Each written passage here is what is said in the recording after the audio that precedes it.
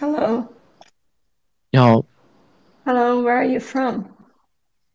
嗯，China。啊，中国不错嘛。Yeah，啊，你会说中文吗会啊，？Really？哦，你中文这么好，你发音很标准。啊，谢谢。那你你是巴西人对吧？对，然后你爸爸妈妈之前在中国，然后你也在中国生活。对我小时候父母去哦工作，然后我也在那边。哦，你中文太好了。啊，谢谢。你是做什么的？我是学生，哦，学学什么的？学物理，哦是大学还是高中啊？高中。选了理科。对，理科。嗯。哦，这你都知道。Hello，Hello, 你会说中文吗？what's your name? 哎，你们是爸爸爸爸，？Yes。你是不是有小孩？嘿，我是你妈，你说你说的那中文你，哈嘛去，你是中国哪里的？你是中你是哪里的？我是巴西的，巴西哪个地方的？巴西贝罗的。嗯，爸爸我不知道在哪里，没去过。你在中国哪里？我不跟你讲，我估计在四川、云南那块吧，为什么？因为你刚刚说的方言，我感觉我听懂了，而且我当年是在云南生活的。Passando aqui só para dizer que se você quiser aprender mandarim comigo, é só clicar no primeiro link aqui embaixo na descrição. E se você não me conhece, meu nome é Karina Cunha, sou brasileira, morei 15 anos na China e nesse canal eu falo sobre a China.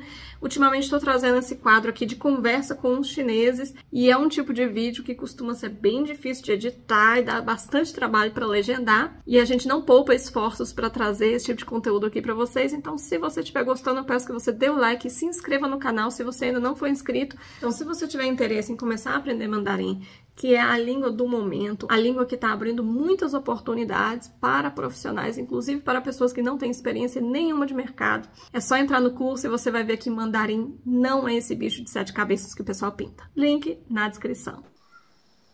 Hello, Hello，where are you from? China。I'm from Brazil. Okay，嗯，How old are you？How old do you think I am? 呃，You are twenty？我三十了啊，我十九岁。啊，你才十九？Yes，是的，哦你你学中文多长时间了？我我其实我是汉语教师，然后我小时候在中国长大。哦，你的中文说的非常好。啊，谢谢。你是做什么的？我是学生，student，高中生还是大学生？大学生，啊，学什么的？学那个电脑的、计算机的。以后是不是就就可以编程？嗯，差不多吧。那你在你现在在家吗？啊，是现在，诶，放暑假了。你那里现在热吗？嗯，热。那嗯，那个世界杯你给谁加油？世界杯跟巴西加油吧！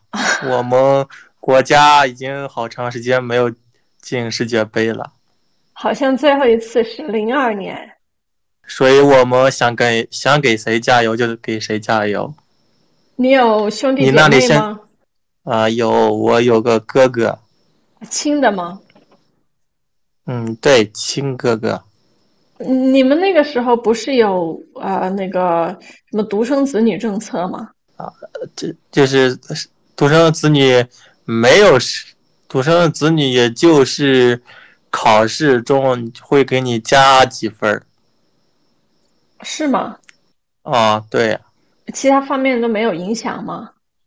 其他方面就没了，和呃我们这个普通和正常人、普通人没什么区别。我你那里现在是几点了？现在是上午十一点，刚好十一点，上午十点，你看看我这几点。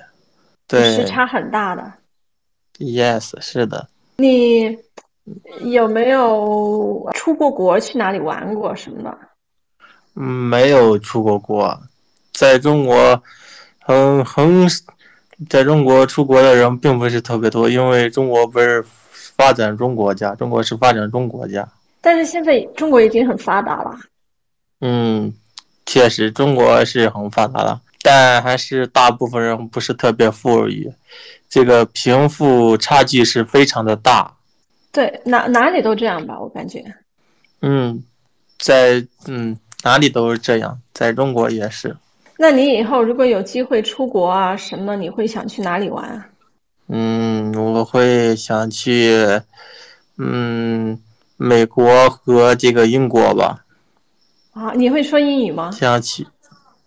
嗯，我会说一点英语。我们这里说，我们这里大部分人是学的英语，也有些人学的是俄罗斯语和这个日语。你选的是英语啊？对，因为我嗯学的是英语，因为我们因为因为这个英语吧，它是大部分人都得大部分人学，而且这个英语这个比较广泛性，你去哪里都可以用得到。确实，那 How is your English？啊？How is your？我英语啊？我英语不是太好，因为在这个在我们这儿，他不注重英语的口语，注重的是英语的写作、听力和阅读。对对，我记得在中国的时候就是这样，我的同学他们读啊、写啊都很好，但是一旦要说出来就很有难度。口语是，对口语是非常嗯不好的。你现在放假了，都干些什么呢？在家，嗯，玩呗。玩电脑。也有的人，嗯，对，玩电脑、手机。也有的人会选择在这个暑假时间有两个月，然后有的人会去打工。我就在家玩吧。这种大学生去打工都可以做些什么呢？嗯，就和咱们就比如说。中国有送外卖啊，或者是去餐厅做服务员啊，就很平常的一些活儿。那这些送外卖的、做服务员的，一个月他能拿多少工资啊？这个得看人吧。送外卖，他是按照你送多少份儿，他就是拿这个钱的。中国这个这个网红产业是比较火的，就是直播行业。嗯，好多人就是通过这个网络直播或者发一些这个短视频，比如说你的游戏视频、什么学习视频，来进行这个赚钱盈利。对，现在一大部分人，嗯，都在想做这个，呃，也是比较这个简单的，也没有什么太大的难度。明白，明白。那你觉得现在中国？这种低一点的工资是多少？嗯，三千人民币吧。三千的话，一天要工作几个小时啊？一天工作不是就也就八个小时吧。嗯，毕竟这这个中国这个，嗯，消费也不也是挺高的。嗯，像有些大城市，像北京、上海。广州这些城市消费也挺高的，你那里高高吗？嗯，我们这里不高，因为我们这个城市不是特别发达，越发达的城市，它的消费水平就越高。你们是住楼房还是别墅还是什么？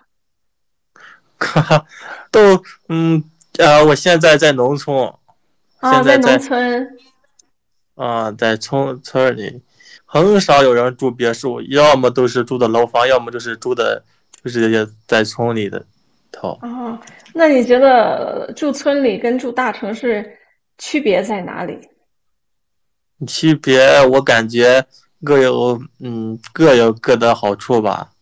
城市这个毕竟毕竟方便，可以嗯你想去哪玩都行，但村里可能不太方便。